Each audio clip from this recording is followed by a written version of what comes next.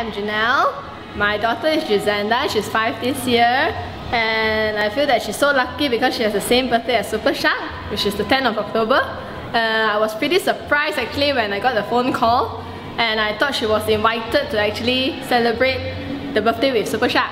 I did not expect that uh, Super Shark is actually holding a party for her. So uh, when she knew it, she was so so so happy and super excited.